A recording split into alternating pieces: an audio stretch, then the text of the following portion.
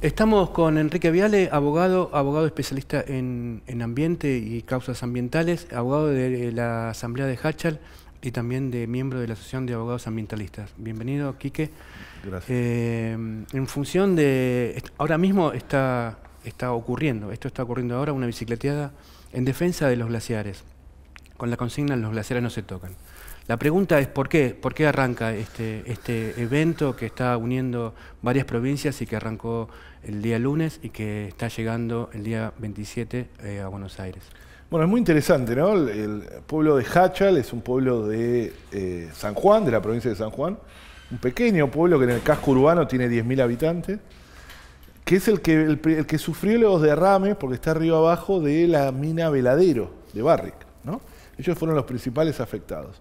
Desde el momento de los famosos esos derrames de cianuro, recuerdan ya por el año 2015, que después se repitieron, terminaron siendo tres derrames al final.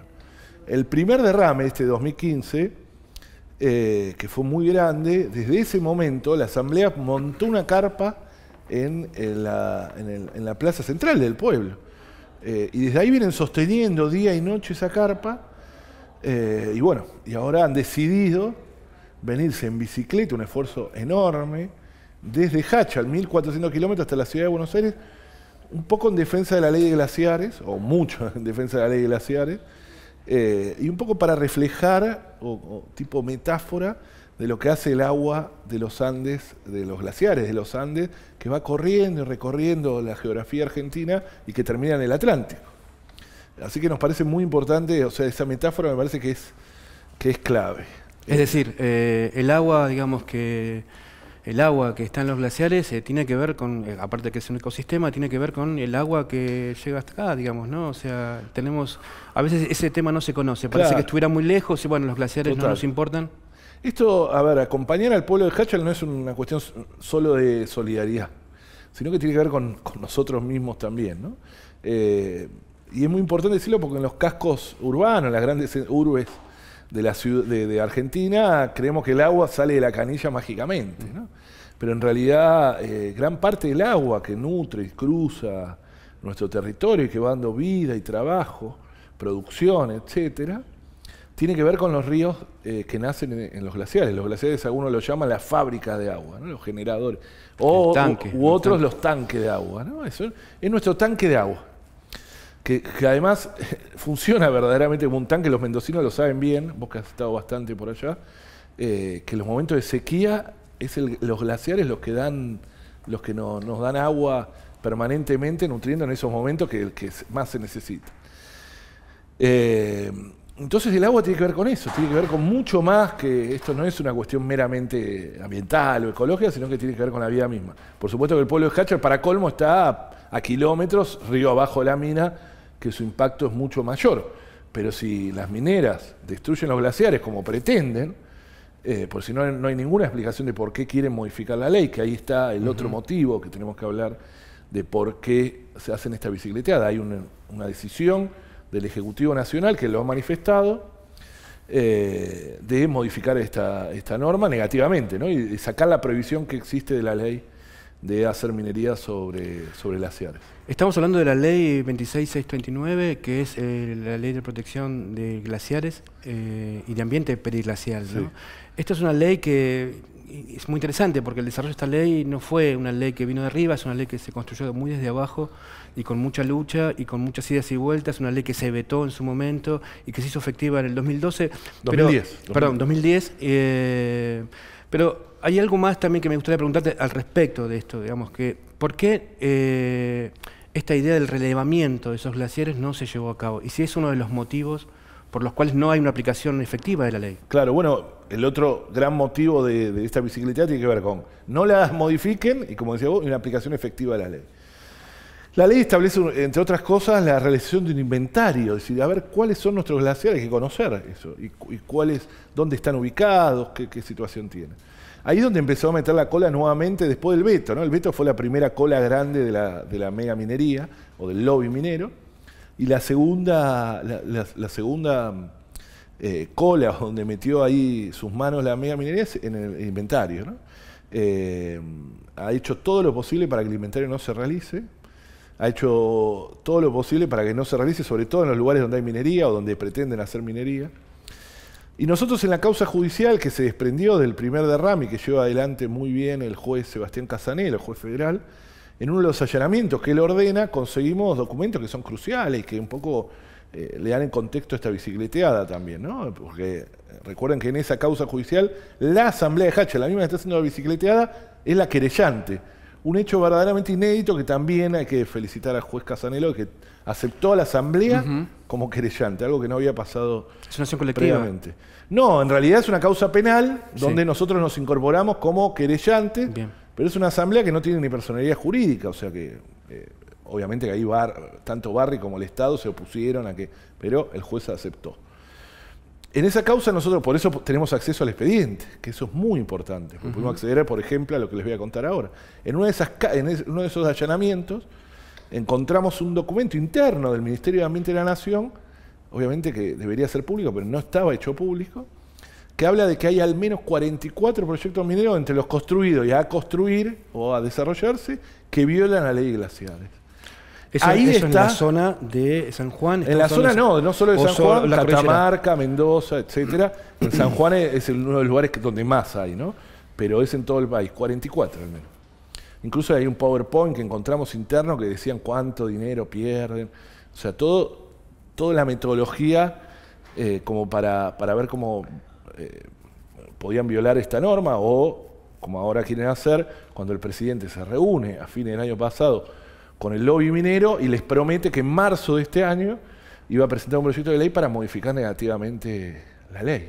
Esto enciende todas las alarmas, ¿verdad? Porque aparte de todos los antecedentes, digamos, este gobierno claramente, digamos, y, digamos, eh, profundiza el extractivismo, digamos, como una de las sus políticas económicas. Es eh, la gran característica, ¿no? Nosotros fuimos críticos del gobierno anterior, pero ahora vemos una vuelta de tuerca, ¿no? Una profundización eh, muy grande y en minería se vio claramente, ¿no? uno de los primeros actos de gobierno fue quitarle las retenciones, o sea, lo poco que pagaban, eh, muy poco.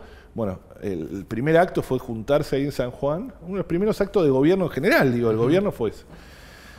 Eh, después, el año pasado, firmaba el Acuerdo Federal Minero, o el Pacto Federal Minero, que no fue firmado por todas las provincias y que no ha logrado hasta ahora ratificación del Congreso, que no es menor, pero que es un pacto que acentúa y pone lo peor eh, eh, sobre todo del engranaje legal.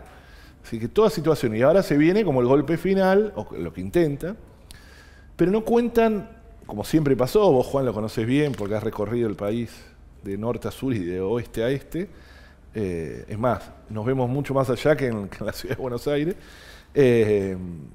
con las poblaciones. ¿no? Las poblaciones es una resistencia impresionante y esto ayudó, o sea, es el efecto contrario, ¿no? Uno dice el tiro por la culata, lo mismo que pasó en Chubut, con el ministro Aranguren yendo a una cumbre minera que hizo que la gente salga más a las calles y una marcha eh, casi inédita en Rawson, ¿no? que siempre estaba más fría, que siempre había un grupo, pero no masiva. Sí, sí, Chubut es una zona, digamos, de resistencia fundamental, digamos, estamos hablando de Esquel. Esquel es la cuna de la El 4 de marzo, digamos, eh, va a ser eh, otra fecha de, resistencia de lucha. Sí, totalmente, y, y lo mismo esto, ¿no? El pueblo de Hacha dijo, no, a nosotros, y un pueblito chiquito, humilde, casi sin internet, eh, se agarró las bicicletas y se está viniendo para acá, generando un hecho político, un hecho social. hay muchos famosos que están convocando, los queremos recibir eh, este martes en la Plaza Congreso a las 6 de la tarde con nuestra mejor energía, porque hay que devolverle de alguna manera lo que están haciendo, ese esfuerzo físico. Así que va a haber artistas, bueno, un montón de cosas, y están convocando ahí, eh, no es que van a venir, sino que están convocando, ayudando a convocar para no generar falta de expectativas, ¿no? Pero está el cantante Axel, muy popular, eh, Piti de las pastillas del abuelo, Elena Roger, la actriz y cantante reconocida mundialmente, eh, Mariano Torre, Katia Aleman, bueno, es peor nombrarlo porque me olvido, y todos ellos nos están ayudando eh, a hacer una convocatoria más amplia. ¿no? Bien, yendo un poco más específicamente al tema el tema de la empresa, digamos, que está explotando en este caso, porque, digamos, este, la, empresa fue, fue sancionada, digamos, está explotando actualmente, eh, en este caso Veladero, que es Barrick Gold, que aparte tuvo, fue vendida, 50% fue vendido a, una empresa china de Yadong. Exacto. Eh, ¿Cuál es la situación, digamos, de la, de la, empresa? ¿Sigue explotando? ¿Vos crees que, que, digamos, hay una explotación en el tiempo? Claro. ¿O es solamente una movida financiera? Bueno, son los capitales chinos ingresando a Argentina, que sabemos que China está sedienta y hambrienta de recursos naturales, ¿no? Para, mantener su crecimiento o, su incorporación al consumo de cientos de millones de, chinos mensualmente, ¿no? Entonces necesita recursos y necesita. Eh, China lo está haciendo en toda América Latina, eso lo vemos y lo observamos. Eh, lo primero que hicieron es cambiarle el nombre, ¿no? Barry, que es mala palabra allá en Argentina, por las macanas que, se ha, que ha hecho.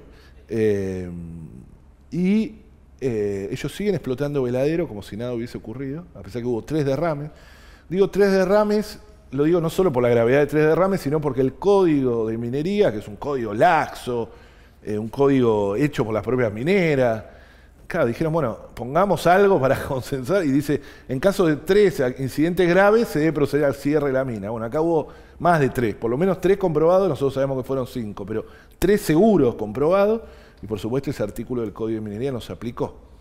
Lo que tuvo es una multa administrativa, que la anunciaron como millonaria multa, son 140 millones de pesos, que para cualquiera ¿Cuánto es eso? Claro, para, nosotros, para, cualquiera de nosotros es un montón, un montón de dinero, pero para, para, la empresa son 6 millones de dólares, 7 millones de dólares, que es lo que Veladero saca eso en 5 días, eh, solo de oro, ¿eh? Del, porque saca otros minerales. En 5 días de oro de, de, Veladero, de los 20 años que está explotando, o que va a explotar, va a terminar de explotar, son 5 días y paga esa multa. ¿eh? Es un verdadero... Es como para nosotros un Ahora, vuelto. la pregunta que sería cualquiera, digamos, si hay una ley que protege a los glaciares, digamos, eh, y que qué les falta para que justamente se aplique esa empresa diga, bueno, no, no puedo, no puedo trabajar aquí. De bueno, hecho, en algún momento hablaron de mover los glaciares. Claro, eh, eso es muy importante, ¿no? Digo, porque en, en, la charla no lo dijimos. Veladero está violando la ley de glaciares y es una de las que estaba en ese documento que encontramos, ¿no? En el propio documento del Ministerio de Ambiente. Es decir, el Ministerio lo sabe. Lo sabemos nosotros hace mucho que lo venimos denunciando, pero está admitido oficialmente. Eh, Pascualama, que es el emprendimiento como primo hermano de este, que en realidad es binacional, está ahí pegado, también viola la ley de glaciares.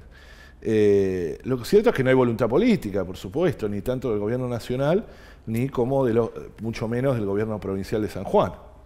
Entonces se ha hecho todo lo posible siempre para esquivar la aplicación efectiva de la norma. Entonces se la empieza a interpretar también. Entonces empezaron, ahí uno empezó a decir que no, solo los glaciares es más de una hectárea. Cuando la ley dice, además lo dice la ley, ni siquiera lo deja interpretación, dice cualquiera sea su forma y o dimensión. Eh, otros empezaron con, bueno, la significancia hídrica. Bueno, vamos a ver, como casi que tenías que estudiar el glaciar. Eh, entonces nos van corriendo, nosotros decimos eso, Juan. Eh, empezamos el 2008 la, primera ley, se vetó un año y medio casi de lucha para que finalmente en mediados del 2010 se, se vote nuevamente. Y ahora vamos siete años de votar. Y siempre nos van corriendo la línea, porque cuando se votó la ley, sacaron una medida cautelar en San Juan. Vos te acordás de 2012, dijiste antes, porque el 2012 recién en realidad eh, se levantó la medida cautelar que habían sancionado en un juez federal en San Juan. Eh, o sea, nos van corriendo el arco o la línea de llegada permanentemente. Bueno, estamos cansados y ya no da para más. Un poco de eso también tiene la explicación de esta bicicleteada, ¿no? O sea, basta. La actuación del juez Casanelo ayudó mucho a que esto se precipite, o sea, de que ya no haya más, ya no tengan más lugar para correr la línea, ya se, se, acabó el estadio, ¿no? o lo que sea. O sea que eh, ellos van a, van a este, o van a modificar van a la ley, más. claro, van por todo, o, sí. y por eso nosotros hablamos de la batalla decisiva esta, ¿no? Esta es la batalla como decisiva de la ley de la ¿Por qué? ¿Por qué es la batalla decisiva? Porque eh, no tiene más lugar para escaparse, o sea, la tienen que aplicar. Hay un juez ahí que los tiene arriba, que tiene tres. El, el Casanelo en esa causa procesó a tres ex secretarios de Ambiente de la Nación, los tres últimos, antes de esta administración, eh, cosa inédita. Nunca había habido procesados por cuestiones ambientales, es decir, y menos de la primera figura ambiental del país. ¿no? Eh, funcionarios. Funcionarios, sí, sí, sí. sí. El, está Musi, ¿se acuerdan? Musi, sí, Juan, Juan, José Musi, que fue secretario de Ambiente de la Nación. Está Loruso, que fue otro más desconocido. Eh, y hay otro que no me acuerdo bien el nombre. Eh, bueno, los tiene procesados por no aplicar la ley.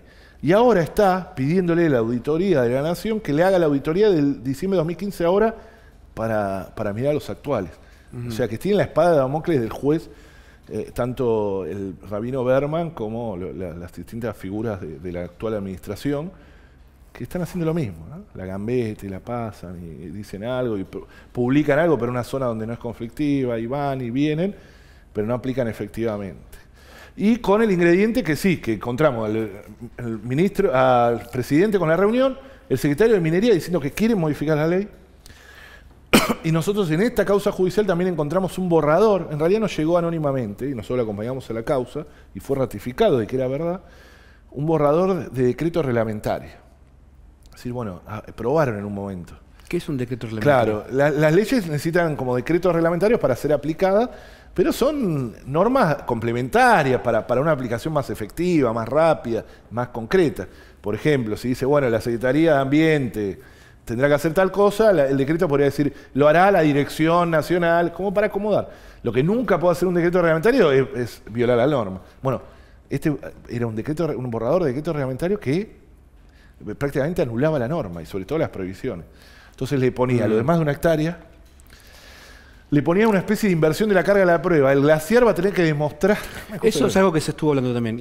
Al final, el glaciar debería decir que es glaciar. Claro. ¿Cómo es eso? sí. Tendría que ir con un abogado abrazado a tribunal y decir, no, quieren invertir la carga de prueba de que eh, tienen que hacer un estudio de significancia hídrica. es decir, que el glaciar va a tener que demostrar que aporta a los recursos. Es una locura. Todos los glaciares lo hacen y además es la forma para decir, bueno, si este glaciar está acá, le digo que no aporta. Este sí, es la forma que tienen. Cuando la ley además no, establece ninguna distinción en ese, en ese sentido. Así que, bueno, eso como se, tomó Estado público, se armó bastante escándalo, dejaron el decreto reglamentario, pero queremos que ahora vienen por la ley. O sea, en ese sentido, más o menos lo que le estoy contando, ¿no? Eh, veremos, veremos, Bueno, para cerrar, digamos, ¿querés que decirnos algo más sobre lo que va a pasar el, día de llegada? De no, bueno, estamos convocando a todo el mundo Sí, eso es una convocatoria muy amplia de todos los sectores de la sociedad. Muy amplia, todos los sectores de la sociedad, todos los sectores políticos, eh, porque estas cosas son transversales, el agua de todos, esto no, no, es una cuestión de, cierto sector político, ¿no? Eh, así que la convocatoria es muy amplia, hemos hablado con todos, está con Ricardo Alfonsín para que, eh, para que venga, ¿no? O sea, obviamente a, los que están siempre, pero queremos que sea más allá de eso. pero también organizaciones sociales, eh, bueno, hay muchísimas que, están comprometiendo su, presencia, obviamente las ambientalistas, las de siempre. Eh, y vamos a hacer un recibimiento con nuestra mayor energía, va a haber un escenario, va a haber algunas sorpresas. Una caravana, ¿verdad? Va a haber una caravana. previa que viene de Flores, llegando con las bicicletas, que va a pasar por Acoite y Rivadavia, después por el Obelisco, después por Casa Rosada, y va a finalizar a las 6 de la tarde, eso es lo importante, en Plaza Congreso, que ahí le vamos a hacer recibimiento. Muy bien. Eh, fiesta, todo, un recibimiento contento, alegre, pero enérgico también y firme para pedir por la ley. Eh, Enrique, Quique, muchas gracias por venir y nada, esperemos que esta bicicleta tenga su efecto en toda la sociedad y que esta ley no se caiga. Bueno, muchas gracias. ¿eh?